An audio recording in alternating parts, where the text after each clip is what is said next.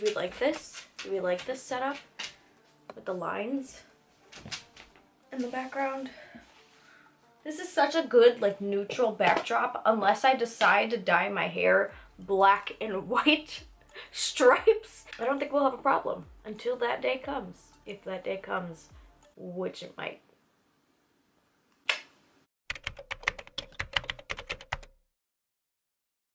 Hey guys, so welcome back. So today I'm going to be dyeing my hair. All you need to be aware of right this second is one, if my face looks really dry, it's because it is. Look, all right here and like up to right here is like my face feels super tight when I go to open it. It feels like it's gonna like just rip completely apart like horror movies. But it surprisingly has not, even though my life is one continuous horror movie. Speaking of horror movies and scary things, I asked you guys if you wanted to see a ghost story slash hair dyeing video. So that's what we're going to do. So I have my conditioner. Make sure it's white. You need your dye. Mine is in the bathroom, but trust that I have it. It's Arctic Fox Purple Rain. And then I also have this Pulp Riot Black, which is what I used in the last video. I have my gloves, my little hair dye bin, and my tint brush, and then just a mirror. Um, if you think this is going to stain your face, you could totally put Vaseline around your hairline. However, I'm not going to do that. I like to live life on the edge. And my hair dye likes to live on the edge of my face. So we're going to let it do its thing.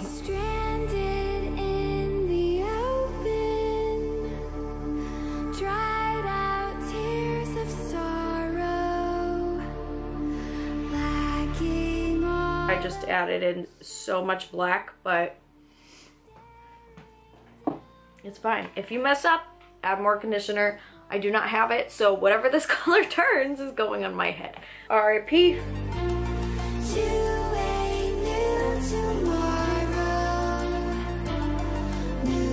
I'll pop my gloves on and we're gonna get into some ghosts. Oh god, I'm so nervous, but also I'm so down for this. Okay. In a lot of these instances, nobody else was with me. And like, I know that sounds really sketch because like, oh, she's making it up. Like, of course, how convenient that nobody else is there. Like, shut Don't come here to watch ghost stories and then tell me that I'm lying, all right? If you're gonna, if you're on that, then go, skedaddle, go and get. So basically, if, if you know me, hey, hi, I also do music. If you don't know, I got my keyboard or my piano, whatever, when I was like either 11 or like 10 or something and I've just been teaching myself how to play ever since. I would move my keyboard around all the time because it's portable and so at one point I had my keyboard in the room which I shared with my sister when she was still living here and she would tend to throw her clothes everywhere. So occasionally they would be on my keyboard and I'd be like stop putting your stuff on my music my musical equipment please. Like this is my favorite thing in the world. Please do not ruin it and at one point, the bobby pin got like lodged in between a few of the keys and I managed to get it out, but now two of my keys don't work ever since that bobby pin. And it doesn't matter how hard like you press down like an actual piano, it will not work. If you slam your fist on it, sometimes it'll work. But like, when am I gonna do that during a song? So I just avoid that key. And if I need that note, I'll edit it in my recording program, you know? So if I'm just like playing just to play, you know, like if I'm not recording anything, I'm just at my house and like trying to write a song or like messing around and like playing, you know, hot cross buns, you know? Sometimes that note will just hit and I could be nowhere near that key. I've had instances where I wasn't even touching my keyboard. I was on my phone writing down lyrics, hovering over my keyboard but like with this much of a distance and have had that note play.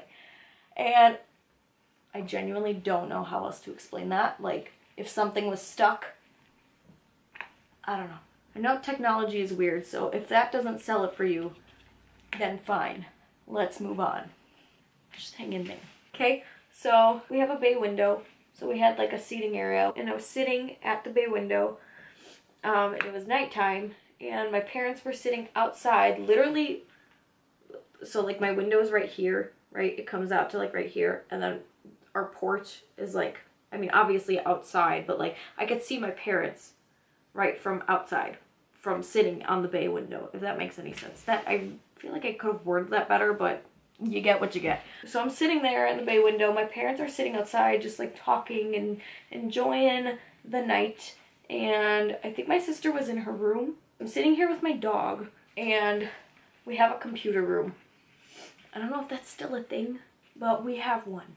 So our computer room is right next to the front door, to the left of the front door, and then our bay windows to the right of the front door.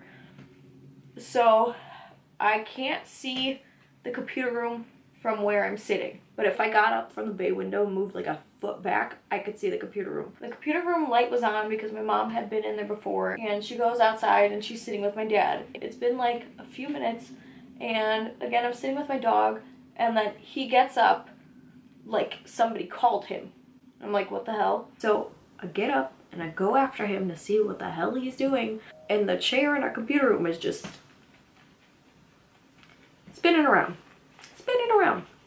Not like at a crazy speed, but like enough where it was clearly like somebody had to have pushed it. And it couldn't have been my dog because I saw him walk into the computer room. He walked in with me. I mean, he walked in a little ahead of me, but it's not like he ran into the chair or anything. It's not like he walked around it. It couldn't have been like if you walk by like a curtain, like it'll, you know, like move a little. It wasn't like that. Was like spinning hard enough where like it looked like somebody had pushed it. Really don't know. Really don't know how. I really don't know how. But naturally I'm a kid, so I tell my parents this. They don't believe me.